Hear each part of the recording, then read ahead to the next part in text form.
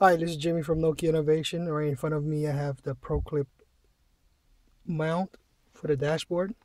Actually, it's for the side of the car for the Volkswagen, and uh, holder with tilt swift for the Lumia 920. Just gonna open it.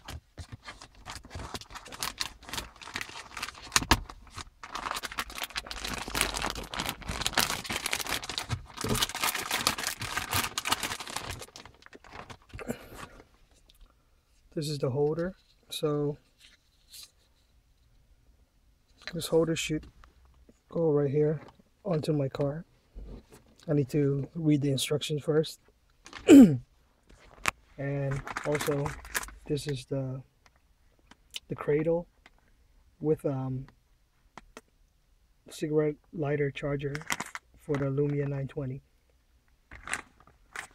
once I set it up, I'll um, show you a video of um, the Lumia 920 charging and using probably um, GPS on it.